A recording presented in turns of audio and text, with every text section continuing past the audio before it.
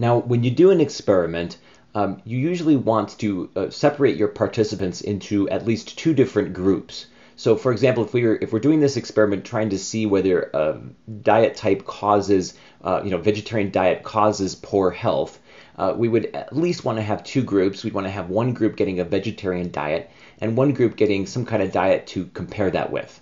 So the terminology we use here is this. We say the one group is the experimental group. This is the group that gets the treatment. This is the group that that gets we, we give the independent variable. We change the, the variable to, to being a vegetarian diet in this group, and we see if this has an effect. But we have to have something to compare this to, so we also have a control group. And the definition here is that the control group is, is exactly the same as the experimental group, except that it doesn't get the treatment. So uh, if, if the one group is getting a vegetarian diet, the other group, we want it to be as close to the same as possible other than having a different diet. Um, if, if the groups are different in other ways, then that's a serious problem. So, for example, suppose that in addition to the one group getting a vegetarian diet, we also happened to grab younger people for that group. Well, now we have young people getting a vegetarian diet and older people getting some other kind of diet. Um, well, when we see the results, um, was the change in their health outcomes was that caused by uh, by the fact that they got this particular diet or was it caused by their age? And we don't know. The results are all mixed up. The effects are mixed up and and thus we have age in that case would be a confounding variable um, again confounding mean meaning that the, the results the, the effects are all mixed up or all confounded together and you can't disentangle them you can't tell what's causing what so we need to rule that kind of stuff out by making sure that the two groups at the beginning of the experiment are exactly the same. So uh, if we look at, uh, a, a, let's take a different experiment. In this experiment, we'll, we'll go with a very silly one. We want to change people's height. We have a, a shrink ray that we've developed, or at least we hope it's a shrink ray. And so we are going to uh, point it at some people and see if we can shrink them. Uh, but we have to start off with people in the experimental group. The experimental group are the ones who are going to get the shrink ray. And the control group, those are the other participants, they have to start off with the same height.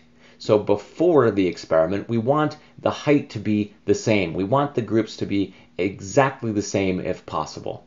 And then after the experiment, when we see that the experimental group is indeed shorter, we can be confident that this change this uh, effect was caused by the independent variable, by our shrink ray. Okay? So the ideal is we start off with an experimental group and a control group that are exactly the same. Then we give the experimental group the treatment, and that makes it different from the control group, and we know that difference is caused by our independent variable. So when you're doing this kind of, of thing with experiments, one of the important issues that comes up is how you decide uh, which people go in each of these groups, which people go in the experimental group and which people go in the control group, because you've got a group of people and you have to decide how to split them up.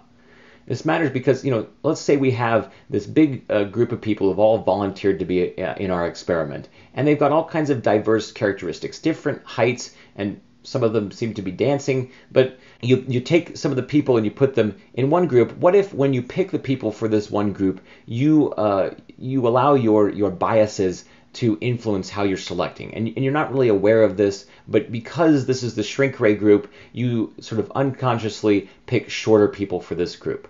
So you end up with an average height of like four feet, five inches in this group. And then when you grab people for the other group, you uh, subconsciously grab a bunch of taller people. And so you end up with an average height of six feet, five inches. Well, this is a big problem because before the experiment has even begun, you've now got uh, a very big difference between the groups um, just because of your biased selection or biased assignment in the way that you put the people in this group. And again, the, the reason why that's a problem is because this is what things will look like before your experiment has even begun. You'll get this big difference between groups. Now, we don't usually see this, so we aren't aware that this has happened because we didn't measure all the heights of everyone in our experiment.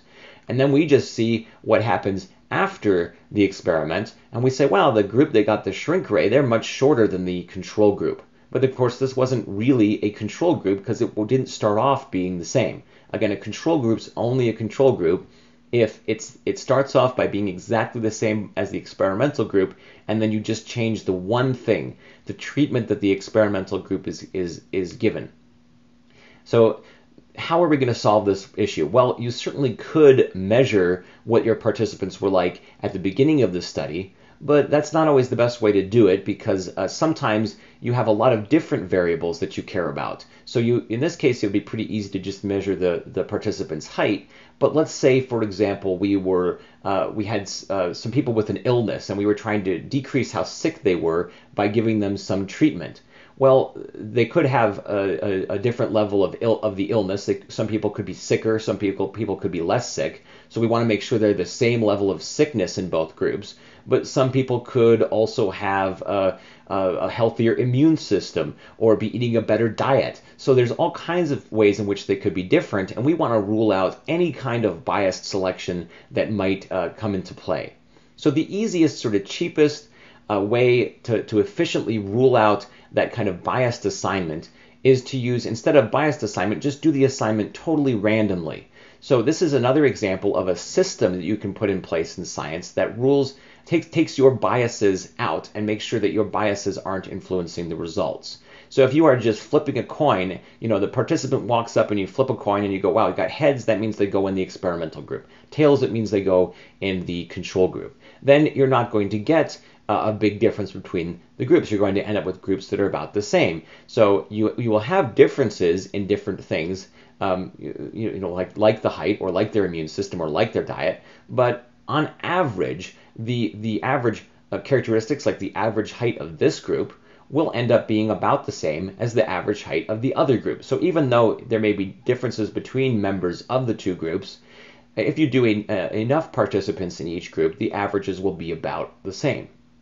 Now, uh, uh, one of the issues that comes up there is, like I said, you have to have enough participants in each group. So if you just picked one or two participants, there's a decent chance that you happen to grab, even with random assignment, you happen to grab two really tall guys for this group and two really short guys for this group, or the other way around.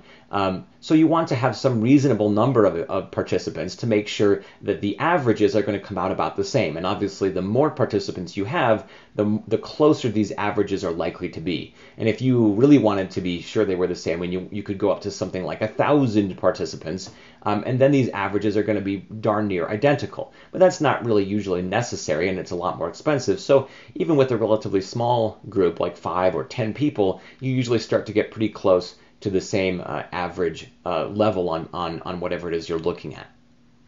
And that means that you're going to start off your experiment with the two groups being about the same. So when you do uh, when you do the experiment, then if one of them ends up being different in the end of the experiment, you didn't have to look at it. You didn't have to measure them in the beginning. Um, you know that if there's some difference, that that difference was caused by your treatment. Okay. And so, to repeat something actually that I was talking about a minute ago, uh, make it a little bit clearer, the idea is not just that random assignment leads the groups to be about the same on one thing, but it, it tends to make them the same on every characteristic that they could possibly have. So, uh, this is one of the reasons why doing random assignment is so efficient and so cost effective. So if we go back again to the idea, uh, instead of measuring height this time, we're going to look at some people who have some kind of illness and we come up with new a new experimental treatment, a medicine to, to help make them less sick, we hope. Um, so what we want is, first of all, we want them to have about the same level of, of the illness. We don't want people who are really sick or, or, or not very sick in one group and and very different a big difference between these two when we start. So we want illness to be about the same. And so we could just measure the the level to which they're ill at the beginning of the experiment to see if it's the same. But there are other things we care about as well. Like we we would want their immune systems to be about the same. So even if they're the same, you know, the the, the level to which they're sick is the same at the beginning of the experiment. If the people in the experimental group have a really really healthy immune system, well that's going to cause a problem because we don't know. This is a this is a confounding variable again. We don't know if they get less sick because of their immune system or if they get less sick because because of the treatment.